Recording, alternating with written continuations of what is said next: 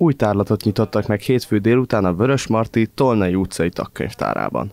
Pásztor Judit Sejem festményei mellett a Cserhádias művész üveg és hagyományos vászonra készített festményeit is láthatják a tagkönyvtárba érkezők. Meglátok egy mintát, és akkor úgy megtetszik, és akkor úgy bűvölöm egy-két napig, és akkor úgy vagyok vele, hogy egyik pillanatra másikra úgy mint egy ihlet, vagy nem tudom mi, hogy na, na most akkor nekiállok. A tagkönyvtár vezetője, Kalicsákné Molnár Zsuzsanna fontosnak tartja, hogy az intézményben az olvasás mellett színes programokon, kiállításokon is részt vessenek a könyvek kedvelői. Szeretnénk a, az olvasóknak a, az olvasáson túl minél több élményt adni, ezért havonta rendezünk kiállításokat, amely lehet hobbi kiállítás is többek között.